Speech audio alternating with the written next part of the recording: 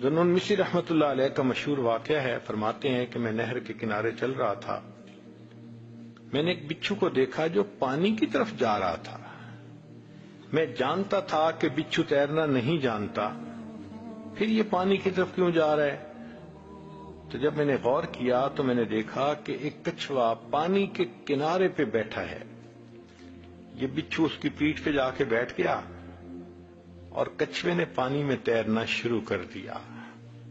زنون مصری رحمت اللہ علیہ فرماتے ہیں کہ میں بھی پیچھے پیچھے وہ کچھوا دوسرے کنارے پر پہنچا تو وہ بچھو اس کی پیٹ سے اتر گیا اور اس نے ایک طرف کو بھاگنا شروع کر دیا۔ میں بھی اس کے پیچھے۔ تھوڑی دیر بعد میں نے دیکھا کہ سامنے ایک درخت تھا اور درخت کے نیچے کوئی بندہ سویا ہوا نظر آ رہا تھا۔ بچھو ادھر کو جا رہا تھا۔ میں نے دل میں سوچا کہ ایک لکڑی اٹھا لیتا ہوں۔ اگر بچھو اس کے قریب جائے گا تو میں بچھو کو ماروں گا۔ اتنے میں میں نے دیکھا کہ ایک طرف سے ایک کوبرا سانپ ہے۔ وہ اسی بندے کی طرف جا رہا ہے جس طرف بچھو جا رہا تھا۔ جب وہ سانپ بچھو کے قریب سے گزرنے لگا تو بچھو اس کے ساتھ چمٹ گیا اور بچھو نے اس کے ڈنک لگایا۔ یہ بچھو اتنا زہریلا تھا کہ سانپ وہیں پر لوٹ لوٹ کے مر گیا۔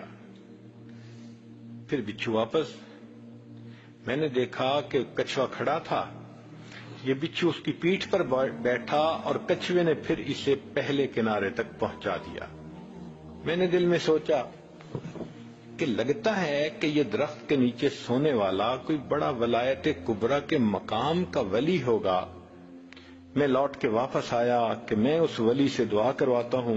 تو میں نے دیکھا کہ وہ نوجوان تھا اور اس کے منہ سے شراب کی بو آ رہی تھی۔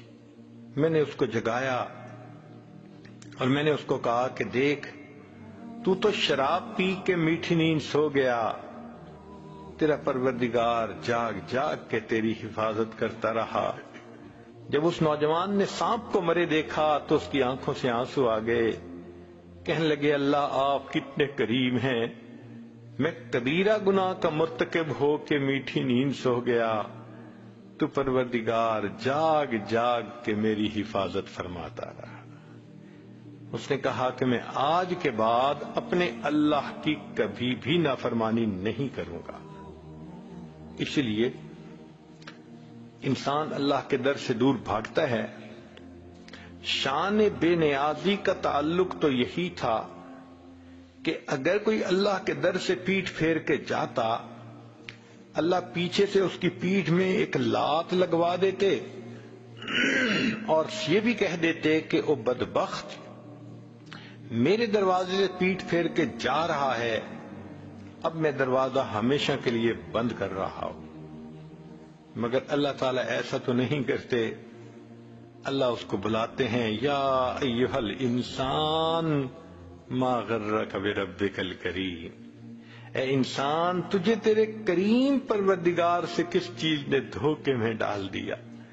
جیسے چھوٹا بچہ ماں سے روٹ جاتا ہے، تو ماں سمجھاتی ہے، بیٹا، ماما سے نہیں روٹا کرتے۔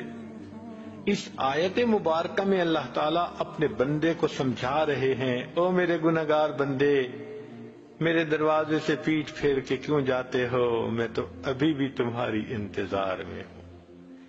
کوئی ماں اپنے بچھڑے بیٹے کا اتنا انتظار نہیں کرتی جتنا پروردگار اپنے بگڑے ہوئے بندے کا انتظار فرماتے ہیں۔